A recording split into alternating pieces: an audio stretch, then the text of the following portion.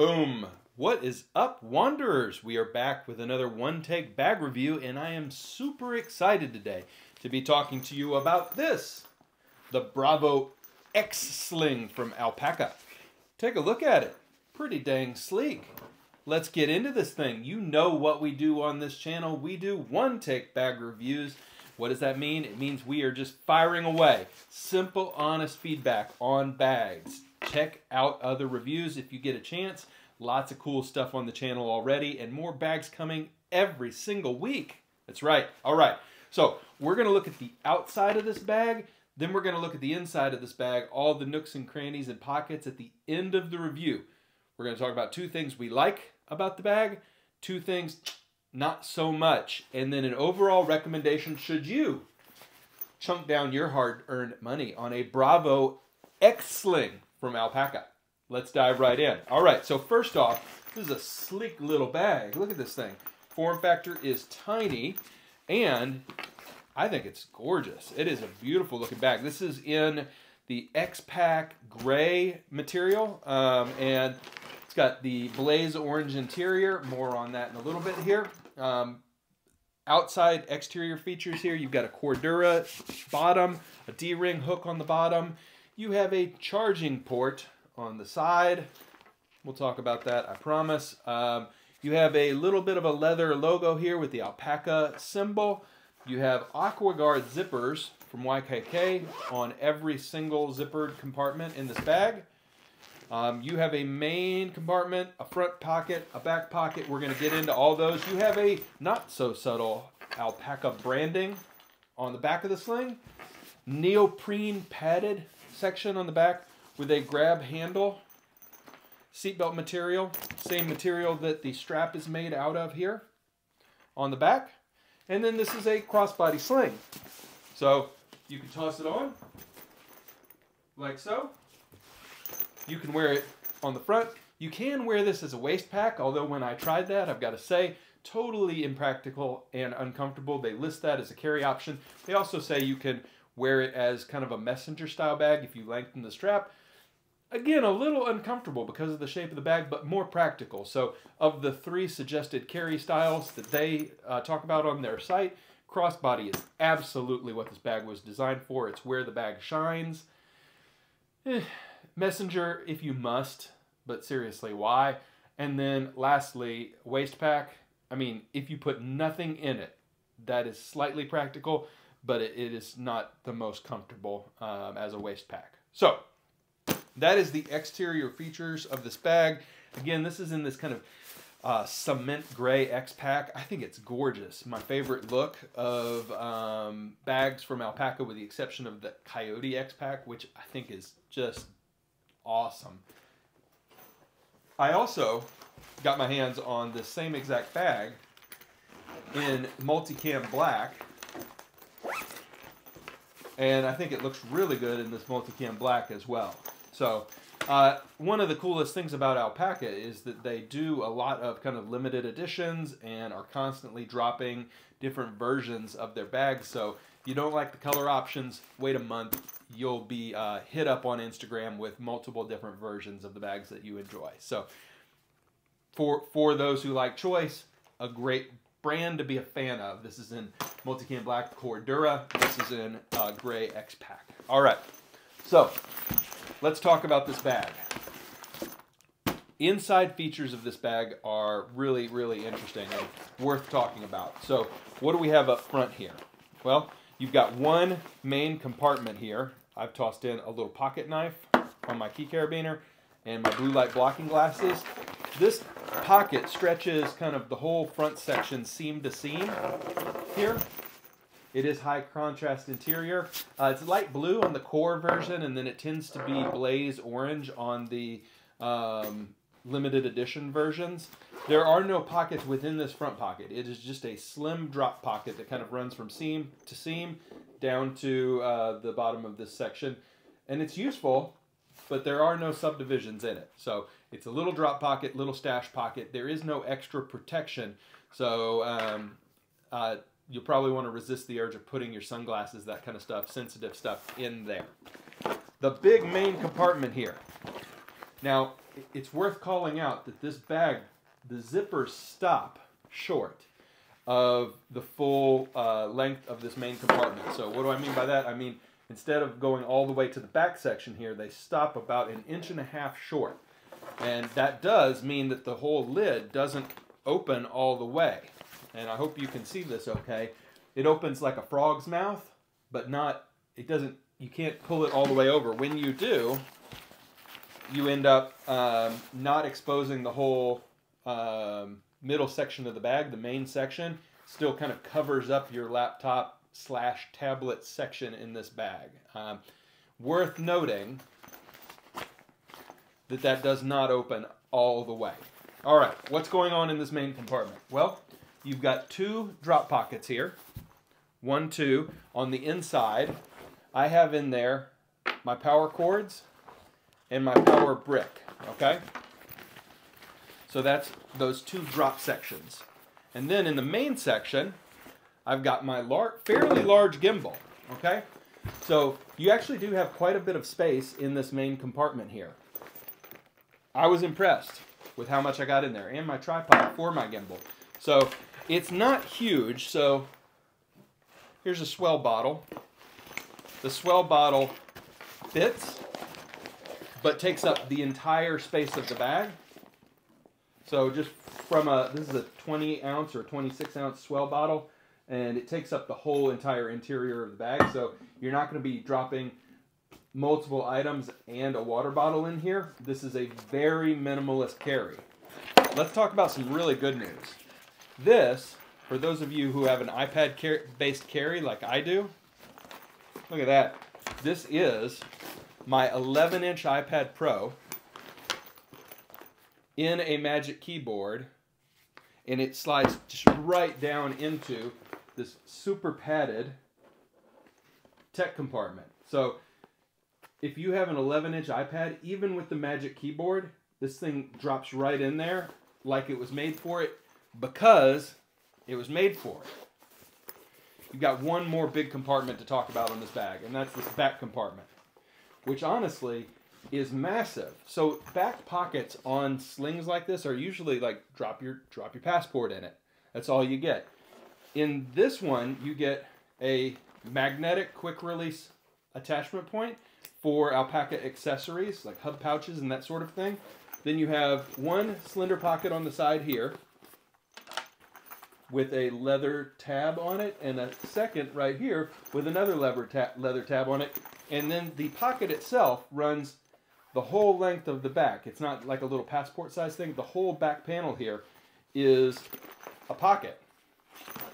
Now, that's interesting because I was a little worried. I thought, okay, well, if I start chunking things into this back pocket, you know, how quickly is that going to become super uncomfortable on the back when I toss it on as a crossbody bag?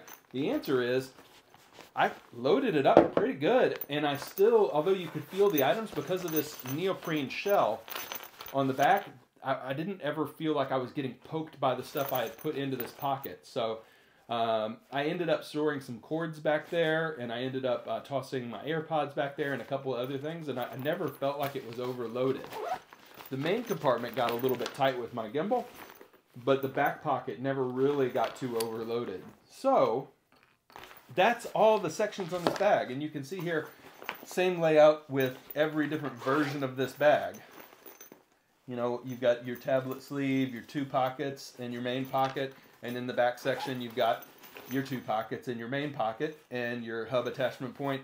The uh, sling does come with a power connector so that if you wanted to, you could keep a power bank in here and then, you know, have external access to power supply. All right, let's talk about this bag. Two things we love about the Alpaka Bravo Max. The first thing that I really love about this bag is frankly, the organization is top notch. Top notch. The slip pockets on both the front section and the back section of this bag have plenty of space. You, you don't ever feel like you are like with a slim bag sometimes you're just like I can't fit the crap that I want to. They made these pockets too small. There are no kind of specific admin pin pockets or pocket knife pockets. This whole thing has, you know, larger than necessary drop pockets. And because of that, you can use them any way you want, uh, which is ideally in a sling like this, that's what you've got is options and, you know, you know, really choices to make for yourself with your carry. So the structure and organization of this bag, I was honestly surprised at first. I thought that I was going to have multiple pockets and organization points in the front, but they treat the front like the drop pocket and the back like the organized admin pocket in this bag, which works out really well. Honestly, it works out really, really well. So uh, organization is absolutely clutch in this bag. The second thing I love about this bag is the size. You get your iPad in this bag completely and easily, and you don't have extra unnecessary space. I loaded this thing down with everything that is in my absolutely must-have carry and felt great. And felt great. And when you toss it on your bag, it sits exactly right. When you talk it, toss it on your back, I should say. So when you toss it on your back, it sits like a dream, kind of exactly where you want it to. Sometimes you get sling bags and you order them and they don't wear crossbody style like you see in the images from the manufacturer. This bag rides exactly the way you want it to. it, it is easily adjustable and it just sits at the perfect 45 degree angle from a crossbody bag. It's exactly what I like a crossbody bag to be. Um, rides tight to your body um, and is super comfortable to wear. Also, because of the size, you can't overload the sucker. You got it forces you to make some choices and make some cuts from your carry. If you want some, if you want more stuff, there is the Bravo Max, and I will do a comparison video. Man, the Bravo X is kind of a sweet spot for me. I really, really like it. So that brings us to two things that, you know, I think could have been better about this bag. Okay. The first thing that I think could be better about this bag is there's no grab handle. Ah! So there is a grab handle, but it's on the back of the bag. And it is really tight to the bag, so it's kind of hard to grab the bag. And then when you pick it up, you're not holding the bag from the top, you're holding it from the back, which is really bizarre and really weird. So this is an all but unusable grab handle. Every time I've worn this bag, I, I have to remind myself, oh, the grab handle is on the back. It would have been really nice to have a grab handle on the, the top of this bag that just came out a little bit, that you could pick it up from the top. That would be ideal. There's tons of slings that have it. Those that don't, I feel like it missed something. Yeah, so grab handle would have been really, really nice with this bag. And the last thing um, that I would change about this bag, you know, I, I debated. There's two things really. You know, I, I think I could pick at them for I wish this fully opened all the way with a kind of a D shape instead of this stopping an inch. I'm sure there's a reason for that. Um, I'm not going to pick on them for that. But Alpaka, I am going to pick on you for this. Stop it with this weird, ugly external power supply. Our phones don't die like they used to. We do not need an external power supply coming out from the middle of our bag anymore. And if we absolutely need to recharge our phone, it is not the end of the universe. We are not going to die. To have this look instead of this look. Like what what is so wrong that we couldn't run a cord from inside our bag that we need this ugly monstrosity on the outside of the bag. So, alpaca, from me to you, I love you. Stop it with this thing. It's ugly. Your bags, they look sick. They look beautiful. They look minimalist. They're the most modern looking bags out there, period. This is stupid. There's no need.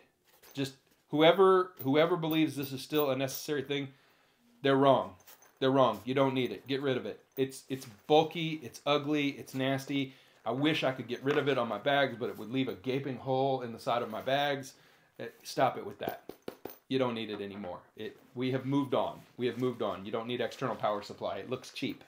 All right. So, Overall recommendation. This is about a hundred dollar bag. This is about a hundred dollar bag. Should you buy it? The answer is if you carry an iPad, if an 11 inch specifically, an 11 inch iPad is your main computing device, the answer to should you buy this sling is 100% heck to the yeah. This might be the most sleek and useful 11 inch iPad sling there is. It is super, super dope. I think it's great. And if you join Alpaka's uh, rewards program, you know, you can start to get some cool accessories for these bags, hub pouches, keychain holders, um, all kinds of neat knickknacks. Uh, as part of the rewards program, I'm not paid to say that. I do not have any kind of affiliate status with Alpaka or anything like that. That's just me saying I've used the rewards program and I've saved money on bags. So, that all being said, I think this is a great bag. I like this more than my Bravo Max. I have the Bravo Max. I'm going to do a comparison review so you can see the size difference. I like this more because that's my main computer, my iPad Pro. And this is a great bag that was purpose built for a tech carry of the iPad Pro 11 inch, and I love it. I love it. I love it. I think you will too. I think it is worth the money for absolutely sure. And, you know, if you are comparing this to some of the other favorites on this channel, this versus the Tomtoc uh, EDC, compact EDC, the Tomtoc wins for being a vertical design, which I, I like being able to slip vertically instead of horizontally. This wins hands down on quality. The, this is a much better built bag with much better materials, much better zippers, much better fabric, much better construction. Uh, for $40 more, it is uh, twice the bag, I think, than the Tomtoc Compact EDC, uh, if you can afford to go one rung higher. So that's it, ladies and gentlemen. I hope you enjoyed the review. If you did, please like the video, subscribe if you're new here. We are constantly looking at bags. And I hope that you will join me next time uh, for the next bag review. Ladies and gentlemen, thank you. See you then. Bye for now.